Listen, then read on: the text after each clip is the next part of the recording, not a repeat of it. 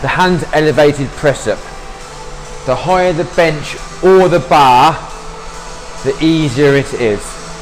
So go into a press position, feet together, bum, back, head all in neutral alignment. Do a, perform a press up, making sure you keep that neutral alignment. Give me two reps. Go down nice and slow and controlled.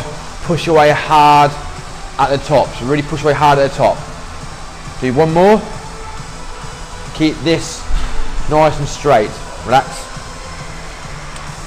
If you feel like your back and abs are giving away, just elevate the bar or make the box higher.